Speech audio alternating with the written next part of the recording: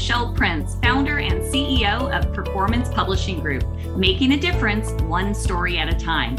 We'll be shining the light on successful founders, entrepreneurs, business owners, and leaders that are getting results and making a difference. We'll talk about how they built their businesses, are creating movements, and leveraging the power of authority in their own lives.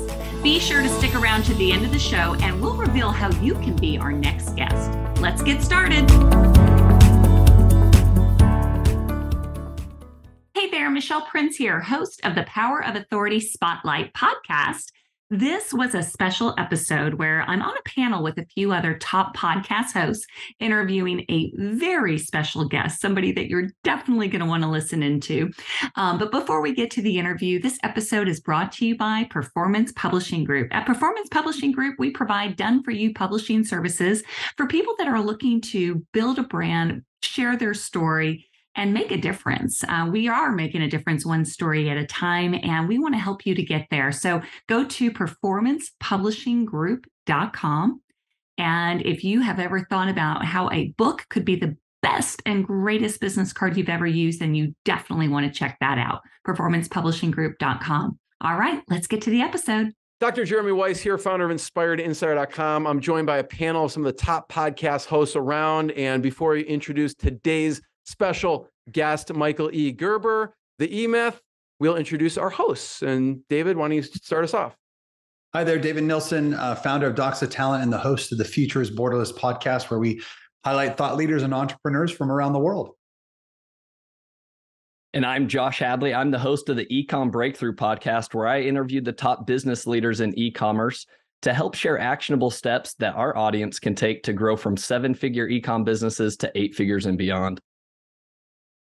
And I'm Michelle Prince, host of the Power of Authority Spotlight, where we shine the light on business owners, entrepreneurs, leaders who are building a brand, they're building a platform, and they're using their story to build their authority. And I am Tom Foster. I do the World of Marketing podcast, and I own Foster Web Marketing. We build websites for lawyers and doctors. And I read your book years ago. It was one of the most inspirational books I've ever read I'm an entrepreneur, and I sunk my teeth in your book, Michael. It was one of the be- it was one of the first ones that set me on my journey. So I am like hero worshiping right now. So it's really an honor to meet you, sir.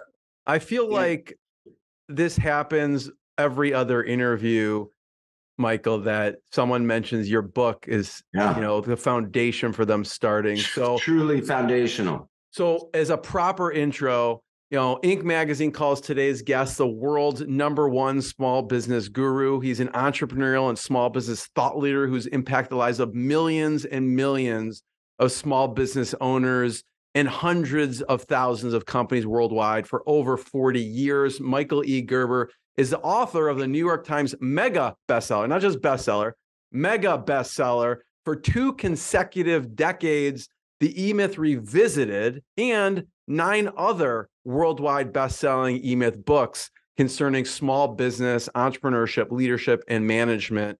And his mission is to transform the state of small business worldwide, which he's done. Michael, thanks for joining us. My delight. By the way, the readjustment of your script. Okay. It's now 32 uh, eMyth books strong. 32. Awesome. That is fantastic.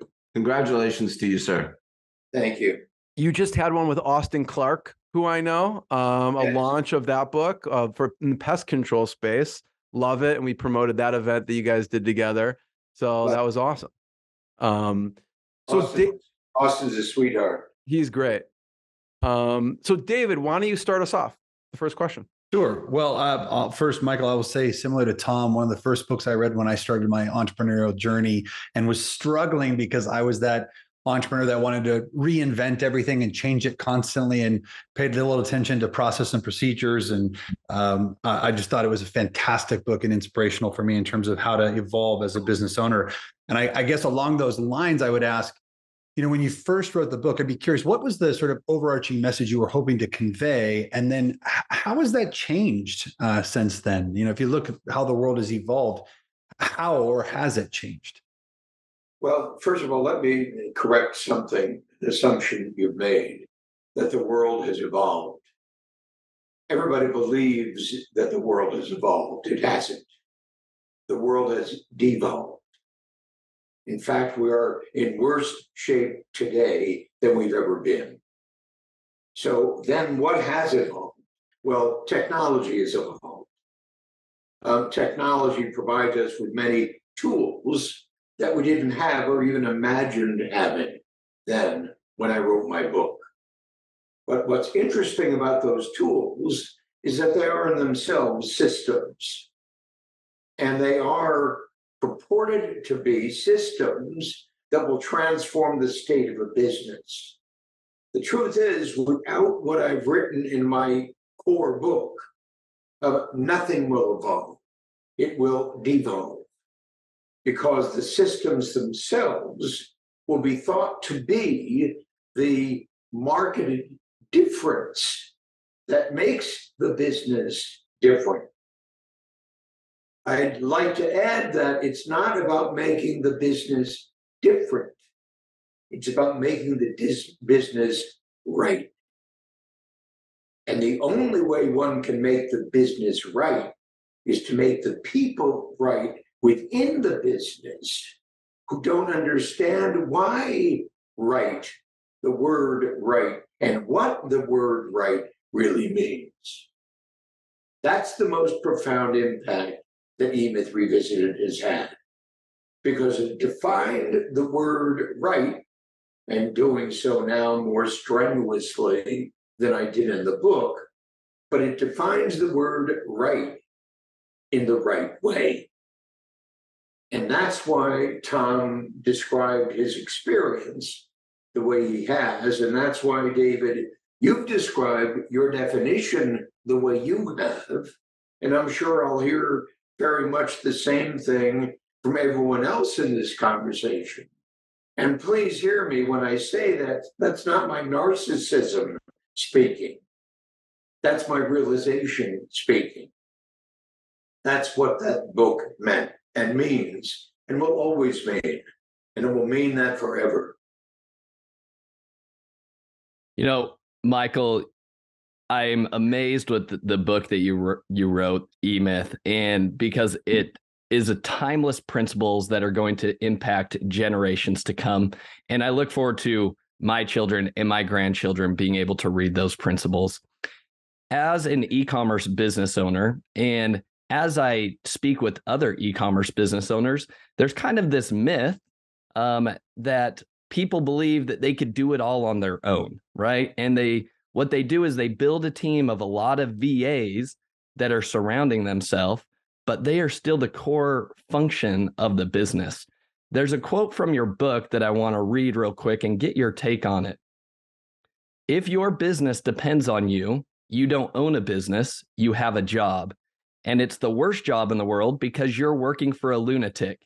So, Michael, can you provide some additional insight as to if you are That's still great. working in the business, why you don't actually own a business? Well, uh, uh, you, you have to understand that um, oftentimes my statements are stronger than they need to be. Oftentimes, as well, they're not strong enough. Uh, but I understand, take that quote, uh, working for a lunatic, and you might change it to be working for an idiot. And it's that idiot that I attempt to transform. And the only way in the world that idiot is going to be transformed is if he or she um, doesn't persist being that idiot in the way they think about who they are, why they do what they do, what they're there to create, and how it's going to be created if, in fact, they grow beyond their idiothood. So it's a master, master, master position to take, Josh. In short, just strenuously understand that while you're not in a people development business, in short, that's not the intent. Um, you are. You get what I mean by that. While you're not in a people development business, you actually are. Everyone is. But the question then becomes what is people development? And how does one approach people development at the very outset? And that is in the positioning of who you are and what you do. So, the most critical process in what I describe, how many of you have read Beyond the E Myth? Yes, I've read it. Mm-hmm. Well, congratulations, Josh.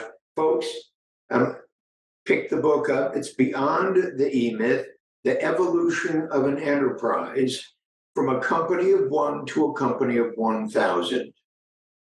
And at the heart of that book is what I describe as the Eightfold Path. An Eightfold Path is crucial to the process of becoming who you intend to be. Let me describe the eight steps in the Eightfold Path. I have a dream. I have a vision. I have a purpose. I have a mission. I have a job. I have a practice. I have a business. I have an enterprise. A dream, a vision, the purpose, the mission, the job, the practice, the business, the enterprise. The Eightfold Path is the process for growing a company of one to a company of 1,000. It is the process of maturing from doing it yourself, doing it, doing it, doing it, doing it, to creating an enterprise that does it in great measure um, with a great number of individuals who are, in fact, um, instilled in the process of understanding and appreciating what a dream is, what a vision is, what a purpose is, what a mission is. How many of you are familiar with the dreaming room? So, the dreaming room is a program that I developed to take one through the first four steps to discover your dream, your vision, your purpose, your mission. If you fail to discover your dream, I'm saying, you'll never discover your vision. If you fail to discover your dream, I say, you'll never discover your purpose. And you follow me and follow me. First this, then that, then that, then that. So there's a process, a mad process through which you grow in maturity, you grow in eloquence, you grow in ability to literally become the one you can't even imagine becoming at the very outset of this process. My dream, way back then in 1977, wow, that's a long time ago. My dream was to transform the state of small business worldwide. My dream was to transform the state of small business worldwide. My vision was to invent the McDonald's of small business development services. My mission was that every small business who, in fact, accepts this process and indeed realize the outcome I'm describing here. And my mission is and was in 1977 um, that I can invent the business development system that will make it possible for me to realize my dream, my vision, and my purpose. Did that make sense? Makes a lot of sense. And mm-hmm. I, I, mm-hmm. love those eight steps and that process that you go through because it truly is like an evolution of growing and developing. It's an evolution. It's an evolution, but it's not based upon evolution. It's based upon something significantly more compelling than evolution. Right. That's what's so critical about it. Mm-hmm. Yeah, gosh, I had a different question, but now I want to kind of segue a little because, um, well, first of all, 14 years ago, I started my business, and about a year in, somebody gave me the E Myth Revisited and it changed my life and i would not be in business today had i not read that book and understood the importance of systems and and process and all the things that i kind of may, I, may I say it may i say it may i say as each of you say what you're saying Um, it, it, it does, it touches my heart. Uh, because, of course, that's the sole reason I've been doing what I've been doing. And to hear it in such a compelling way, in such an authentic way, is very, very moving to me. So thank you. When you say years ago, years ago, years ago, years ago, and here you are evidencing um, in the, the, the, the shine on your faces, in your hearts, how meaningful this was to you. It's very, very compelling to me. Thank you. Well, it's a pleasure to be able to tell you that because it really it is true, and it's interesting when you start talking about the people development. And this is where my question changed. So I came from, and my my background is in people development. Um, I worked with Zig Ziglar, and when I started my business, I thought that's all I really needed, and that's why the E Myth really helped me because I realized I needed more than just my passion, more than just those skills. I needed the systems. But what I'm hearing you say with the beyond the E Myth, it's really it, it it isn't one or the other. It is both. But what what is what is something a brand new business owner can do to implement that quicker? Because I, I know for me, I wish I would have been able to implement this earlier to take that dream, mission, vision, and then transfer it into the systems and processes. Is there another way? Is there a faster way? Is there a better way than what people are doing today? Because I see a lot of business owners who have even read it still struggle. And I'll raise my hand in that sometimes too. Uh, faster uh, doesn't work in my world. Yeah. But it doesn't work in yours either. Mhm. And it's simply a product of our time. Faster, faster, faster, faster. Everybody wants faster, when in fact they can't even do slower. And so I'm suggesting that first thing you can say to every single person in the room don't talk faster to me. Faster never has worked. And if it has, it's an accident. If you attempt to emulate faster, you're attempting to emulate stupid. Because what you'll discover at the end of faster is you haven't gotten there. You only thought you had. And the problem is, it's going to kill you faster than you can even imagine. It's slower. The zen of it. It's slower. It's slower. Speak to me slowly. Measure your words as you speak to me slowly. Take this in slowly. Practice it slowly, definitively, honestly, earnestly, with all of your being. As you go into the martial arts, there is no you get there faster. Stupid. It's impossible. You understand? You've got to do this 1,000 times. You've got to do this 3,000 times. And you've got to do this 3,000 times artfully. So artfully that you can't even conceive of how you got to this point of doing this a thousand times, 10,000 times. A gentleman who's one of my co authors told me that he reread the E Myth Revisited 39 times. Hear me, he reread it 39 times. That he never would have been able to do it so artfully had he not reread it 39 times. You say that to somebody who's in a hurry. You follow me, Michelle? Happen. Yeah. Michelle, you follow me. I do. I do. Understand, you're not actually attempting to teach them how to do it faster. You're attempting to get it faster yourself Mm. because they're making a demand on you faster, faster, faster, Michelle.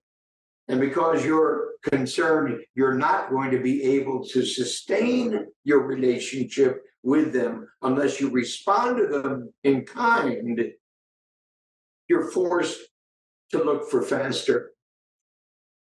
Hear me, be the artful one who looks for slower. In every single thing you do, be the artful one who looks for slower and speak it more slowly, more definitively, in contradiction to their requirement for you to go faster. Wow. It's That's the best thing I can say to you. No, that's great advice. Thank you. Thank you for that. That's You have great. no idea, you have absolutely no idea the profound impact that will have on the people who work with you as they slow down, as they give themselves up to the pace of art. Mm-hmm. You don't get art done quickly. You do it, and you do it, and you do it, and you do it, and you do it, and you do it, and you do it, and you do it, and you do it, and you do it, and you do it, and you do it, and you're still a slob. You're still a jerk.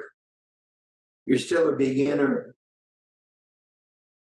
So you must turn to everyone who says that and say, You're a beginner, moron. You're a beginner. Don't you dare ask me for a quick solution to become an artist. Don't you dare ask me for something that's impossible to give. Now, let's all slow down. And you set that pace, you can feel that pace being set as you set that pace. Follow me, as you set that pace, you set their hearts. And if you set their hearts appropriately, you set their imagination appropriately. And you surround yourself with individuals who are there for the long term, who are there for the long term. Hmm. Can you imagine your students being there for the long term? Can you feel the difference that makes? Mhm. So imagine your martial arts class. You follow me? You're all martial art leaders, gurus. Imagine your martial arts class slowing down. As you begin to see that, everything changes.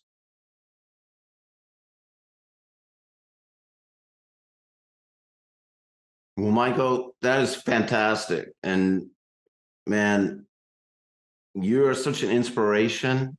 Um, you are the foundation. Like everybody just has copied you for the last since you wrote the book, everybody's just copied you and had some kind of version of what you came up with. So I've got a couple of questions. One is how were you inspired to do it in the first place? Did you have a business that you were like, I'm an idiot. I got to help other people. Were you observing others, friends, or your your family, or it, what inspired you to go write the book in the first place? Well, um, I wasn't inspired to write the book until I did the work. So, working for 10 years uh, with small businesses um, at the request of a, a very close friend of mine who had an advertising agency in Silicon Valley. And he had small business clients.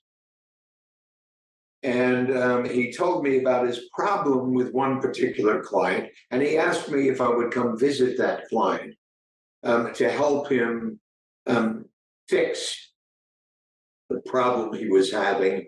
And I said to my friend, and my friend's name is Ace Remus. Um, and Ace is still a friend, and he's my my sister's husband. Ah, Very good. And I said, Ace, I don't know anything about business. I have no idea how I can help. He said, Michael, you know more than you think you do. Just come with me. Let's meet the guy and let's see what happens.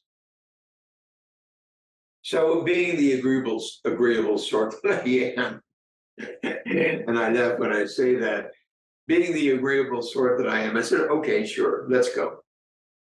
So I sat down with the guy, and um, um, Ace then immediately said, guys, I'm to take off. Um, get to know each other. I'll be back in an hour to pick Michael up. First thing the guy asked me um, as he looked at his watch. so, what do you know about my business, Michael? Um, nothing. Because I didn't. And I wasn't interested in asking Ace anything about the business. And he said, Well, what do you know about my product? And I said, Less than that. And he really looked discomforted. Well, if you don't know anything about my business and you don't know anything about my product, how in the world can you help me? I said, I haven't a clue. I told Ace that. Ace said he thinks I can, and we're here to meet to find out how. So the best way I know to do that is to get to ask you questions and to preserve the answers that you give me. So let's get started. And that's what we did. I began to ask him questions, and he began to answer them. And gradually, over a very short period of time, it became obvious to me um, why the guy had the problem the guy had. It wasn't that I didn't know about his business. It wasn't that I didn't know about his product. It's that he didn't. it became so transparent.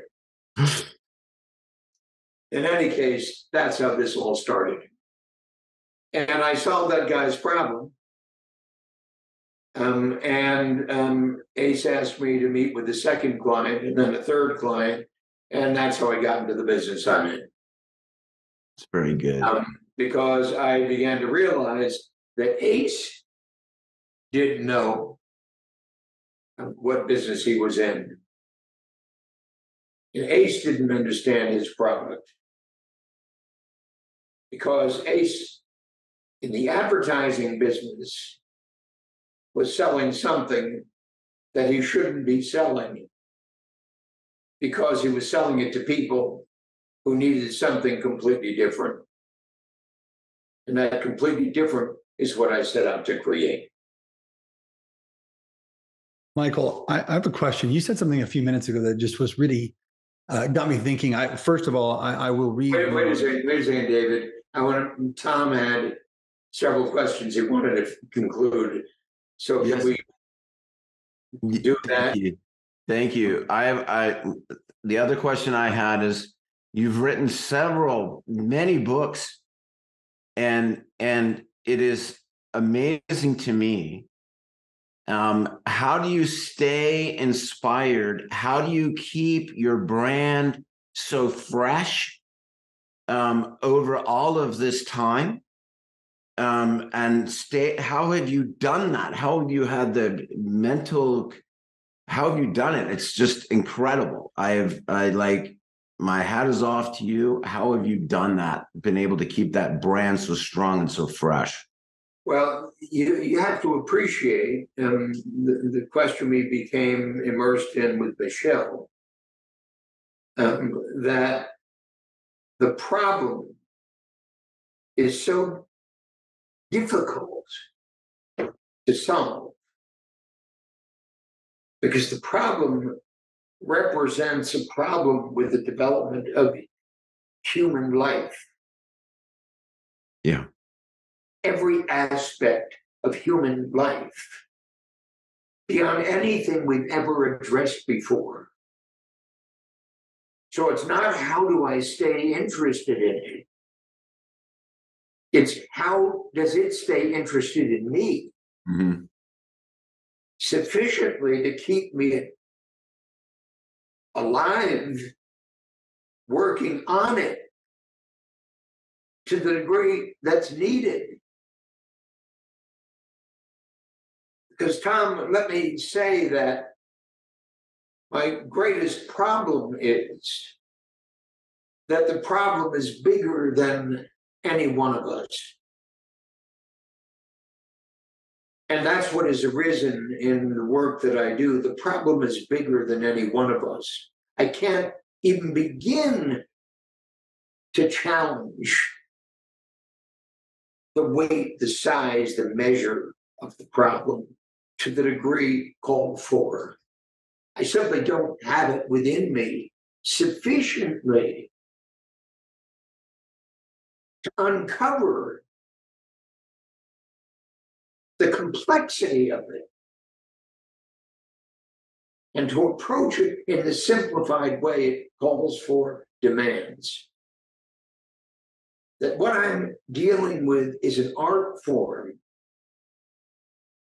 Can't be better described than that an art form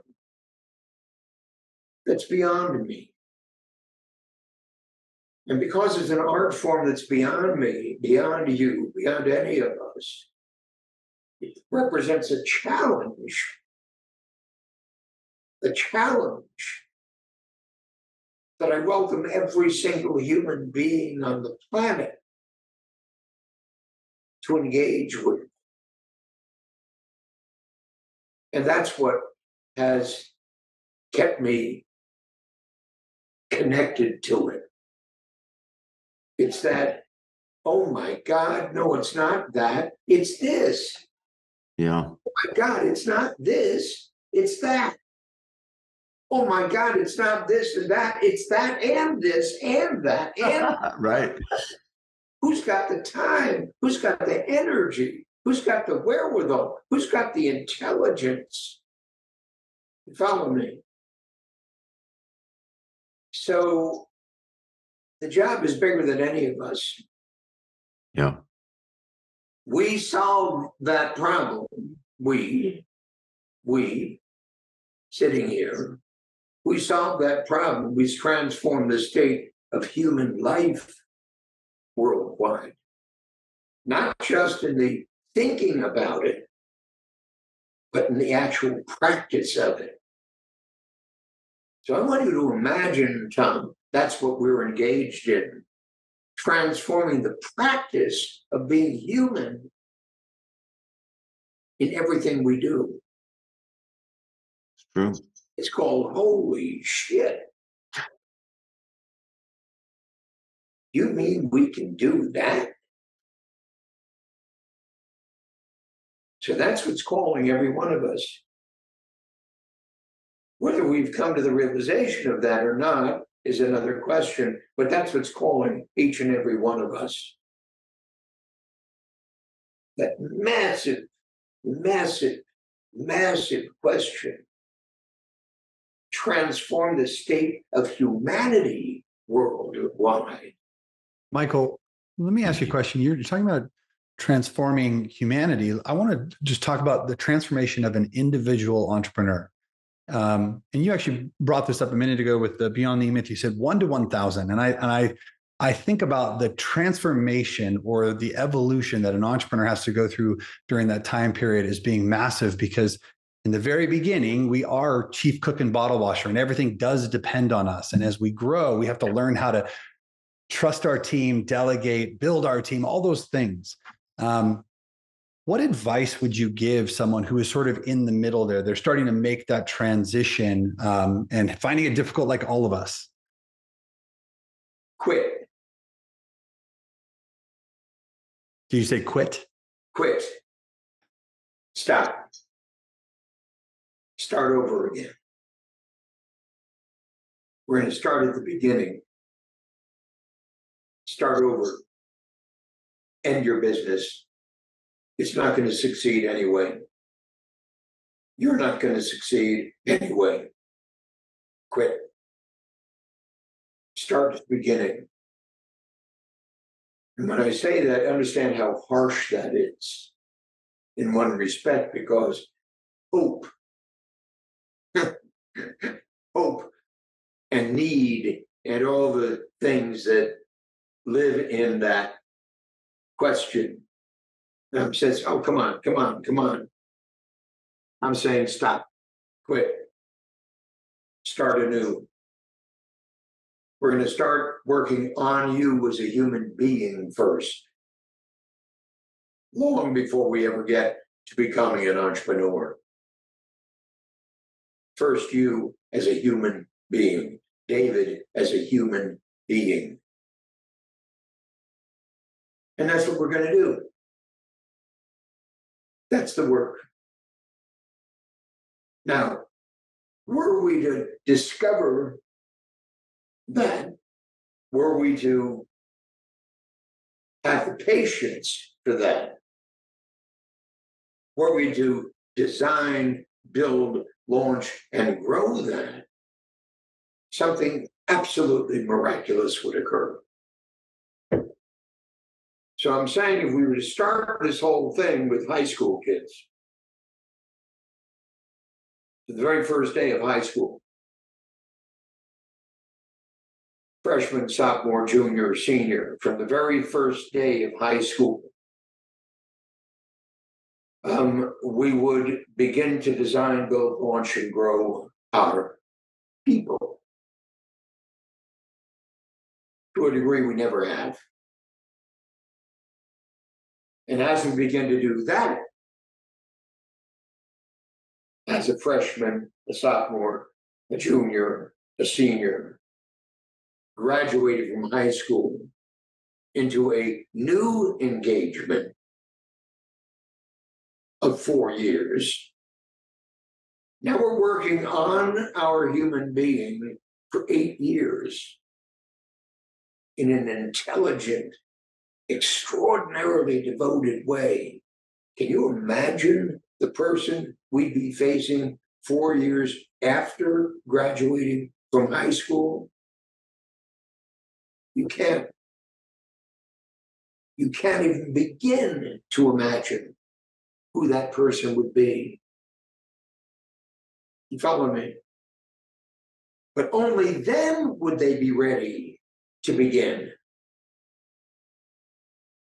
But I'll guarantee you, significantly fewer of them will begin to be entrepreneurs. Thank God. Michael, on that note, you know, one of the things as you begin to scale a business and as you go from one to a thousand to an enterprise, you're going to have to work with people, right? And we talked about people development. In your decades of experience, do you have any advice or tips when it comes to finding and hiring A level talent for your business? Well, th- that's obviously a system. Um, obviously, how you select the people you hire, what you put them through before you ever bring them aboard, and how you determine um, their makeup before you ever bring them aboard um, create a, a method for that madness. And the people you bring aboard will be immensely different than the people you're bringing aboard today. What is that military um, group? The elite military Navy. The Marines? U.S. Navy SEALs. Oh, okay, they're elite. They're okay too. Think, think about U.S. Navy SEALs for the moment. The SEALs um, put people through living hell before they ever get to become a beginner, a Navy SEAL. And yet, um, 90% of those who become a Navy SEAL drop out before they become a Navy SEAL. 90% drop out before they become a Navy SEAL. And the ones who become beginners have been through an immense amount of development before they're ever qualified to go through the first stages. And then the Navy SEALs put them through living hell. Put that down through living hell. Challenging, challenging, challenging, challenging, challenging, challenging, challenging, challenging. You follow me? That's your job. Hear me. How do you expect them to become stars? Challenging, challenging, challenging, challenging. So that's the process. It's so far beyond anything we do. It's so far beyond anything anybody expects to do, believes they need to do, wants to do. Because none of the people in your organization have ever been through it. Challenging, challenging, challenging, challenging. How do you expect them to bring aboard people who will do it? They won't.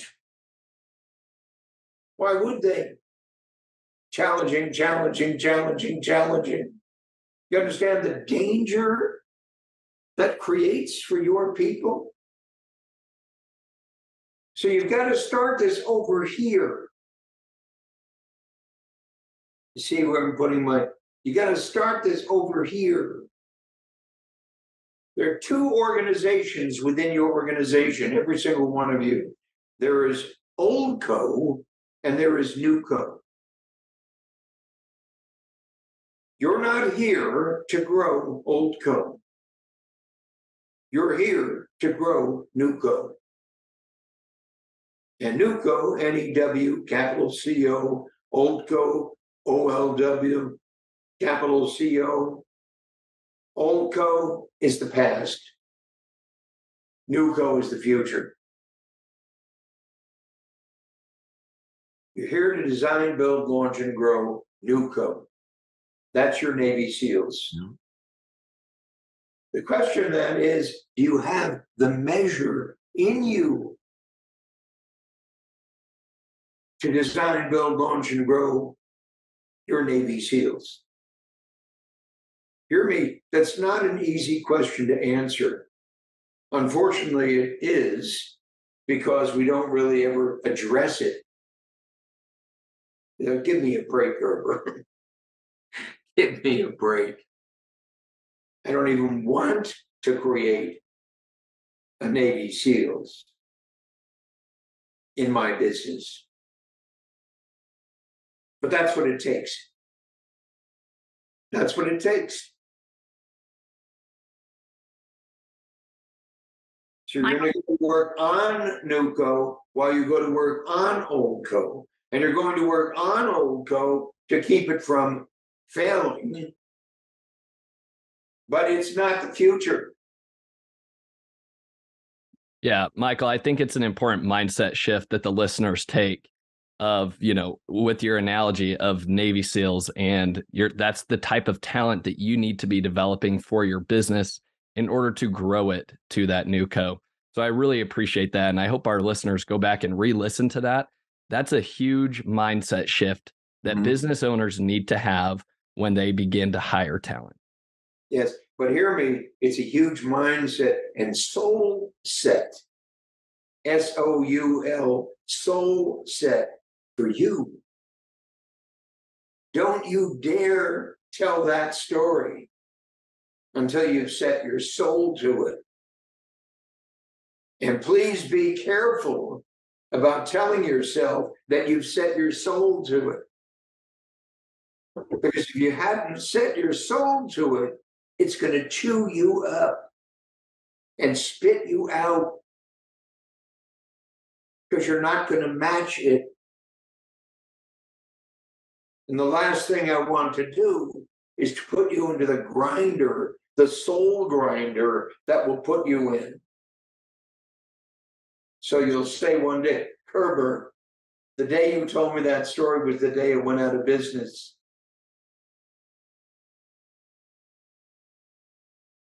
Michael, I have a question. I'm curious. So we all know you because we've read your books, books, and how has being a published author, when you first set out, how has being a published author helped to build your authority and really helped to establish you as the expert? And follow on to that, would you recommend that other business owners follow that same path?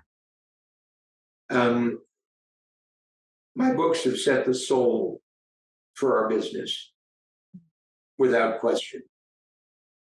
Um, my books have set the soul for the creation of our business, for the development of our business, um, for the uh, activation of clients for our business, for the communication of our business. Our books have set the soul for the soul of our business. So, yes, without a doubt. And I didn't write my book until 10 years into my business. You follow me? Um, what was the further end of that question? Would you recommend that other business owners, because that's really opened up so much opportunity for you, would you recommend other business owners as they've evolved and grown into their business, learning things that they share that also in a book and leverage being? Well, you see that everybody has. Mm. Uh, there's no question about it. That you look at those other guys who have, in quotes, copied me They've copied me by writing their version of my book. Now, please, again, that's not my narcissism speaking, it's just true. Um, they've copied me by writing their version of my book. So I can only say that, yes, writing a book about that, um, I believe, is a critical piece of the puzzle because the means through which you communicate um, to a larger and larger and larger audience. Um, and then doing that through podcasts, um, as we're doing now, uh, enables you to share that message, open that marketplace, read the book, stupid, read the book, stupid, et cetera, et cetera, et cetera, et cetera.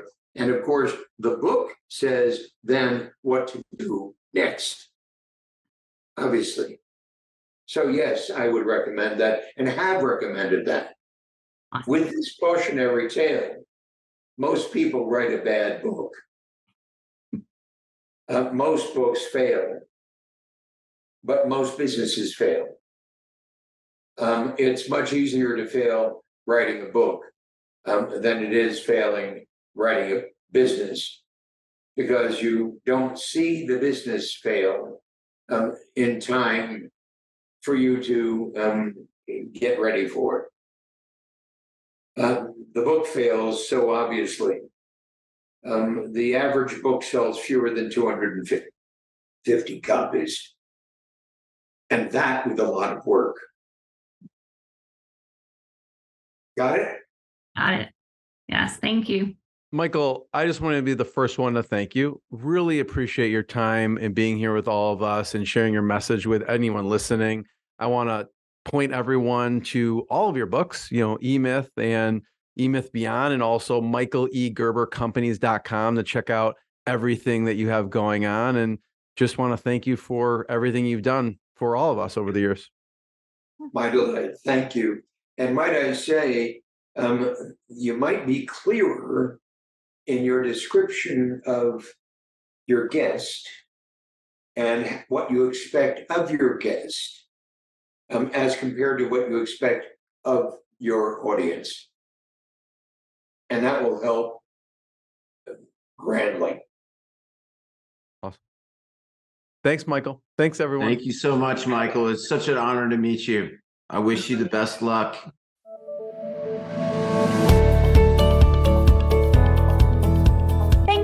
For listening to the Power of Authority Spotlight.